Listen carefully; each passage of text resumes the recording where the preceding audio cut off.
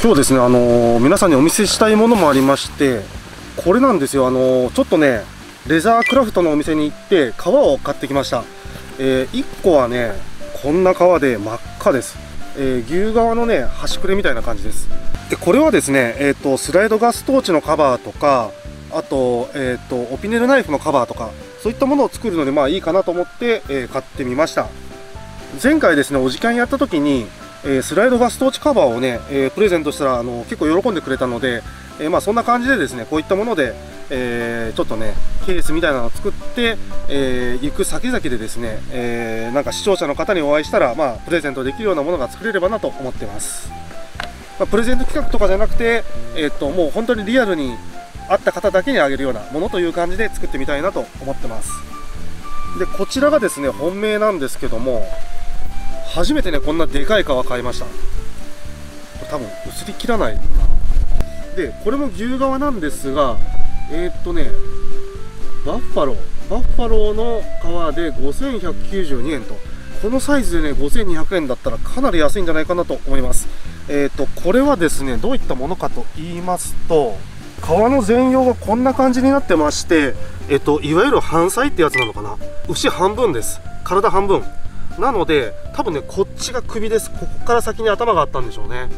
でここが多分前足なのかな。でこっちが後ろ足という感じで、まあ、なるほど言われてみればね牛の形に見えてくるんじゃないかなと思います。このサイズだと子牛になるのかな、まあ、ちょっとよく分かりませんが、まあ、とりあえず半分の皮です。もうサイズとしてはねこんな感じなのでかなりでっかいんですけどもえーとまあ、これでね何をしたいかというとエプロン。えー、よくね前掛けってありますよね。あれを作りたくて今回ねこういった大きいやつを買いました。エプロンっていうとねこんな感じだと思うんですけども僕はね前掛けが欲しくて腰から下のやつですよね。腰から下のやつがちょっと欲しいなと思って、えー、ちょっとね探したんですけどもまあ、自分が欲しい機能とかをですね詰め込もうと思ったらやっぱり自作した方が早いので、えー、まあ、レザークラフトをするためにこれを買ってます。えっ、ー、とね本来は何て言うんでしょう。この下のねこっちで切れ端なんでまあ、そんな綺麗なもんじゃないんですが、えーと、綺麗にカットして、えー、前掛け作ろうかなと思ってたんですがちょっとねこの形を見ると綺麗な形にカットするのはちょっともったいないなと思い始めまして、まあ、この自然な形ですよね。自然な形を活かせるように、まあ、こういう感じとかで作ってもいいかなと思ってます。こんな感じが一番いいのかな？えっと、鍋つかみになったりとかですねペグが収納できたりとか、えー、タオルがかけられたりとかですねまあなんかいろんな機能をつけられればいいなと思ってます。でも結構切れ端もねあのなんかそのまんま生かした方がいいんじゃないかなということで、えー、ちょっとね予定を大幅に修正するんですけどまあちょっとやってみましょう。動画としてはね撮るつもりでいるんですが公開するかどうかはねまだ考えてないので、まあ、ご希望があればまあちょっと公開してもいいのかなと思ったりしてます。これねやっぱりね川だからね暑いんですよ。あの本革ですからね。本革だからやっぱ暑いんですけども暑いんだけどこれがトレードマークになったらいいなと思ってまして、えー、ちょっとねスチームパンク風というかそういった感じのねちょっとあの絶対市販品じゃないような、えー、ゴテゴテしたですね唯一無二のものができたらいいなと考えてます。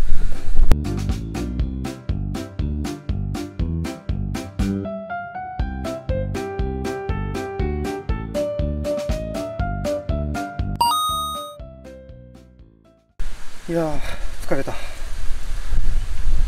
設営疲れですね。今日ねあの別の動画も撮ってたんで結構いい時間なんですが、えー、もう4時半ですね。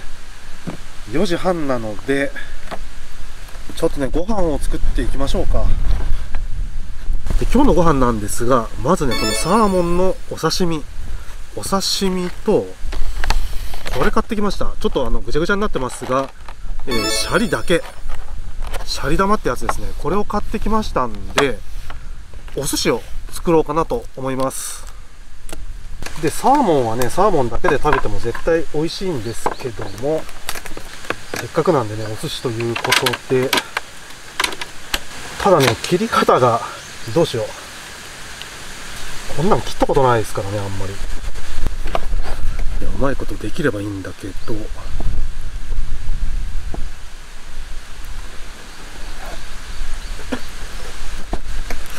わむずい。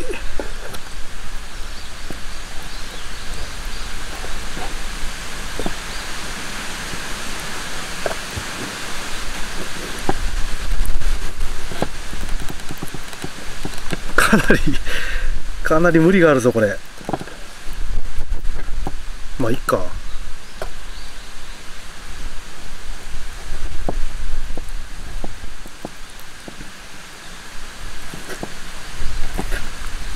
オピネルのね切れ味はいいんだけど寿司ネタを切るのはちょっとこれは無謀だったかな。いけると思ったんだけどな。油がすごいですねこれ。よいしょ。で次にですね鉄板用意しました。鉄板。鉄板に酢飯をとりあえず乗っけちゃいます。こんな感じかな？ここに、えー、サーモンとりあえず適当に乗っけていきます。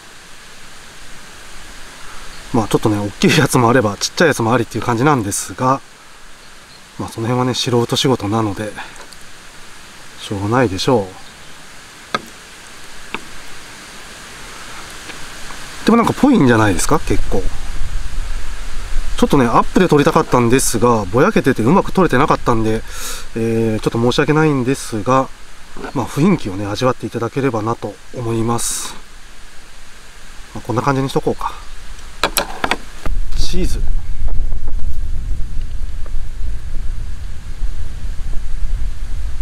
でここにマヨネーズいきます。ピヤーっと。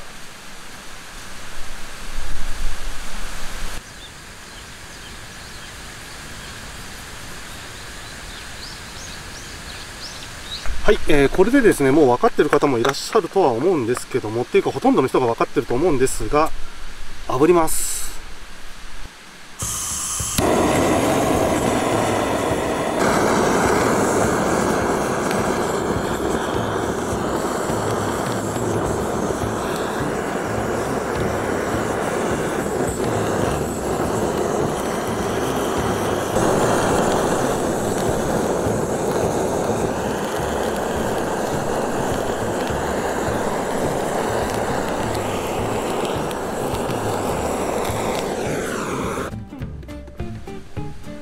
ちゃめちゃ美味しそう。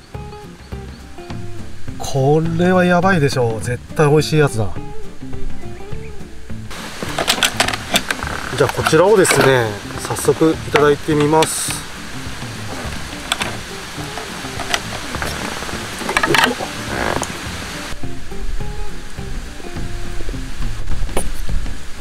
そうだ。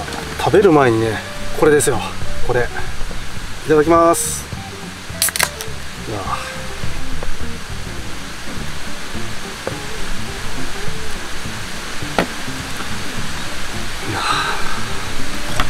うまい。ちょっとねまず刺身から、えー、余り物ですね。余り物の刺身から。うん。うまい。でねちょっとわさびをね乗っけるの忘れてましたんでもうこの上からいっちゃおう。ああでもこのスタイルも悪くないんじゃないですか。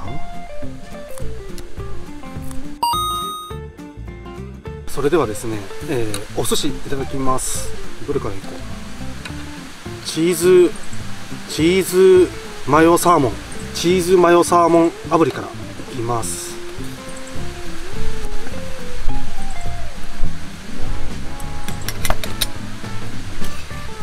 うん。うめえ。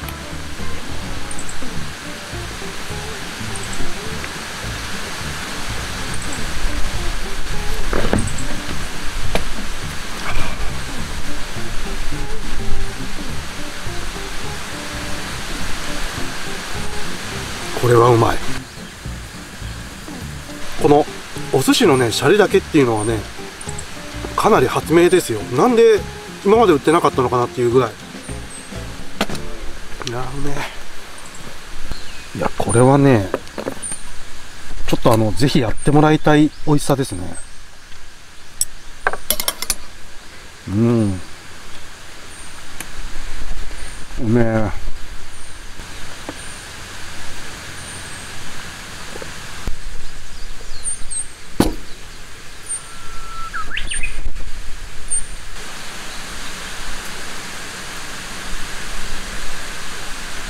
えー、酔っ払わないうちにね次の料理をやろうと思うんですけどもえー、っと次はですね皮むき器。ピーラーを使ってじゃがいもですね。じゃがいもを皮をむいていこうと思います。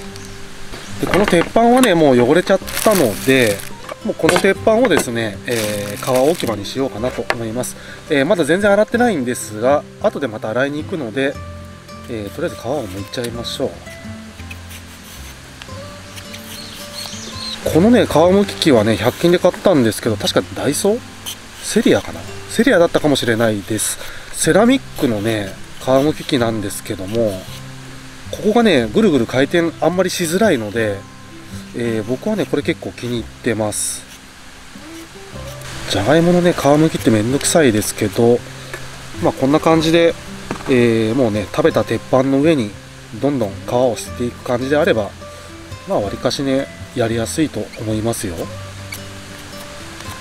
そういう意味でねこの鉄板はすごく買ってよかったなと思います。まあ、いろんなね使い道がある上にですねかなり値段が安いんですよ。1300円とかそれぐらいだったのでまあダメになったらダメになったで諦めがつくような値段なんで、まあ、結構酷使していこうかなと思ってます。とりあえずねじゃがいも多分2つうん2つぐらいあったらいいかな。まあとりあえず適当に皮を剥きます。よし。さあそういうことで、えー、とりあえずね洗ってきます。はい、えー、でそれではですね、えー、じゃがいも洗ってきました。洗ってきたじゃがいもをちょっとね適当にカットしていきます。で今回ね作るものはハッシュポテト。ハッシュポテトを作ろうと思います、えー、ハッシュポテトっていうのはですねあの朝マックとかでよくあるような何て言うんだろう。砕いたじゃがいもをまあ揚げてるような感じなんですけどもえっ、とまあね朝マックなかなか食べに行く機会がないですよね。で、えー、朝マック食べに行ってもですねマフィンが美味しくないんですよ。どうもね僕あんまり好きじゃなくて好きじゃないから、えー、フィッシュバーガーしか選択肢がないんですがフィッシュバーガーもねまああんまり美味しくないっていう感じなのでまあ、結構ね踏んだり蹴ったりな感じの朝マックなんですけどもでその中でもですねハッシュポテトだけは大好きです。で、えっと、そのハッシュポテトをですね、なんとか作れないかなということで、まずですね、この大きめにカットしたじゃがいも、それと、これね、ツイッターとかインスタとかでは上げてるんで、まあ、知ってる方もいらっしゃると思うんですけども、手動のフードプロセッサーです。ちょっと前まではね、100均で300円であったんですよ、確か。あったんだけど、100均の方曰くですね、もう売ってませんっていう話だったので、まあディスカウントショップみたいなところでですね、500円とかそれぐらいだったかな、それぐらいのやつを買ってます。えー、これはね、家で結構使ってるんですけども、これがね、あの、びっくりするぐらい楽しいんですよ。楽しいし、焼肉とかするときにですね、最近あの、ネギ塩だれとかをこれで作ったりとかするんですが、みじん切りをすることに関してはですね、これが最近欠かせない感じになってます。キャンプに出かけた時にですね、あの、料理を結構するよという方にはですね、あの、よく分かっていただけると思うんですが、かなりね、狭いです、テーブルって。この狭い空間の中で、みじん切りとかするのってね、だいぶ大変ですよね。大変なので、もうこれなしではみじん切りしたくないなというぐらいになってます。さあ、具材を入れましたんで、えー、これをね、みじん切りにしていきます。えー、これはね、手動なんで、こうやってね、引いたらもう勝手にみじん切りしてくれるんですよいきますよ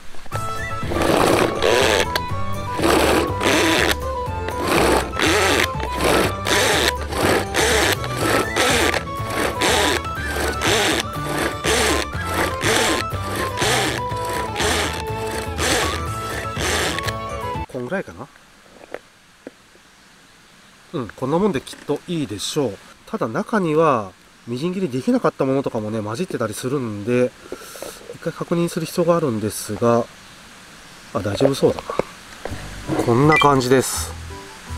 こんな感じでみじん切りにできるので、まあ、電気を使わないっていうこともあって、キャンプではね、結構欠かせないものになるんじゃないかなと僕はね、今思ってます。だいぶ前から発売されてるもので、多分あの、正式名称というか元祖のものはブンブンチョッパーってやつだと思うんですが、これねいいんですよ。ここまでね細かいみじん切りをこういった狭いテーブルの上でやろうと思うと結構気を使うしめんどくさいのでそのねめんどくささがなくなることを考えるとこれはね素晴らしいものだと思います。でちなみにですねこの刃なんですけどもこの刃でですね僕一回手を切ったことがあるのでこの刃のね取り扱いにはちょっとあの洗う時とか気をつけた方がいいです。気を抜いてやってるとですね平気で手を切ったりとかするので気をつけましょう。でこれをですねこれから混ぜていきますけどもとりあえずスプーンを出してですね、えー、これじゃがいもですよね。じゃがいも100%です。えーと、つまりねあのでんぷんが含まれてます。でんぷんが含まれてましてえーと、こういったね片栗粉。片栗粉も、えーと、実は材料でんぷんと書いてありまして、えー、まあ、言ったらほぼでんぷんなんですよねこれも。じゃがいもだけのでんぷんで、えー、ハッシュポテト作れるんじゃないかなと思って試したことがあります。試したことがあるんですけどもなかなかねつながってくれません。どうしてもあの焼いた時にねバラバラになってしまうので片栗粉を入れた方が良いと思います。で、えー、片栗粉を適当に入れていきます。こんなもんでいいかな？これぐらい入れときましょうか。でこれをね混ぜます。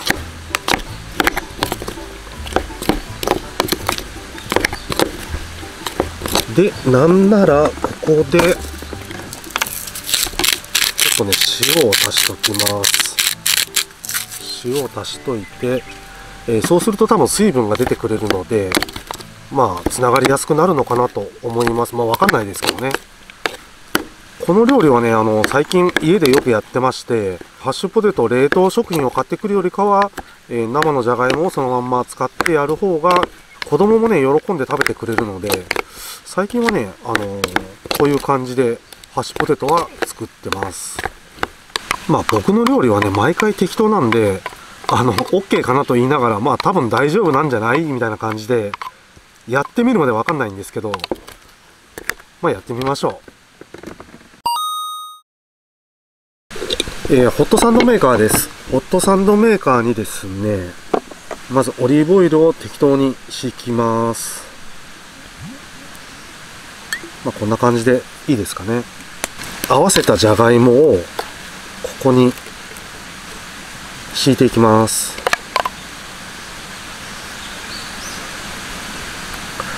このじゃがいもは特に茹でたりとかする必要は、えー、やった感じだと特には感じなかったので、えー、このままでいいと思います。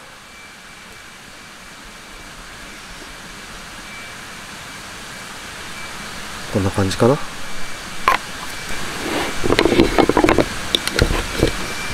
弱火から中火ぐらいですかね。焼いていきます。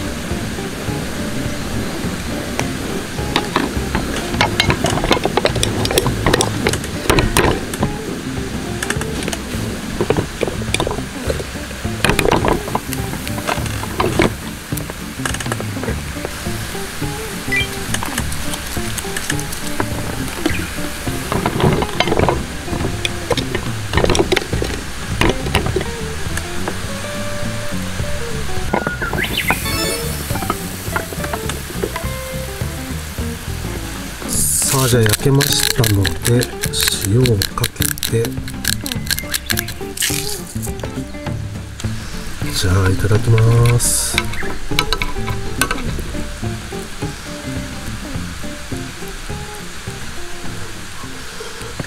ああお前。ち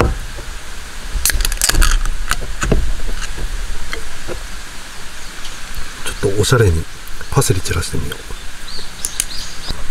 いやいいですね。ただのじゃがいもなんですけどねこれ。ただのじゃがいもがなぜこんなにうまいかっていうぐらいうまいです。さあそれではですね初めてのラプカへの火入れ、えー、やってみたいなと思います、えー、前回はですねおじキャンでこれを使いたかったんですが、えー、今日初めて火入れをするという感じになります。多分こんなもんで火がつくとは思うんですがまあやってみましょうか。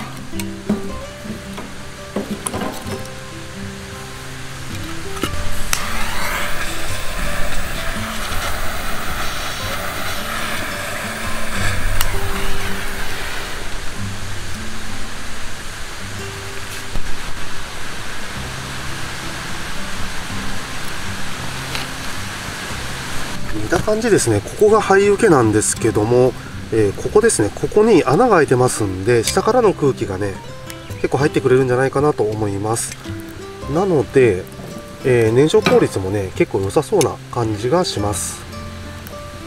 えー、このラプカなんですけれども、えー、この風防とかですね、えー、あとオプション品そういったものを今後どんどん発売していく予定があるそうなので、えこれからですね結構面白い焚き火台になるんじゃないかなと思います。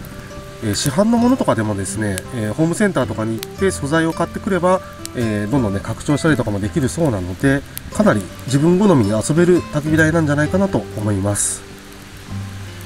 ちなみに今日ですねあのカメラのバッテリーを充電するためのケーブルを忘れてしまいましてあと5%しかありません。なのでこの5%の中でですね、えー、今日のキャンプなるべくお伝えできればいいなと思ってるんですけども5%じゃ無理かなやっぱり。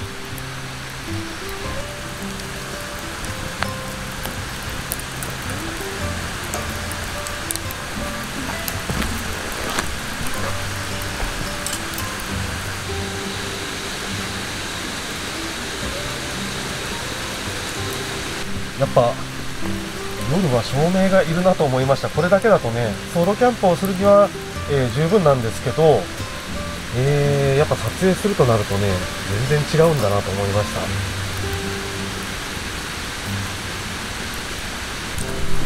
し。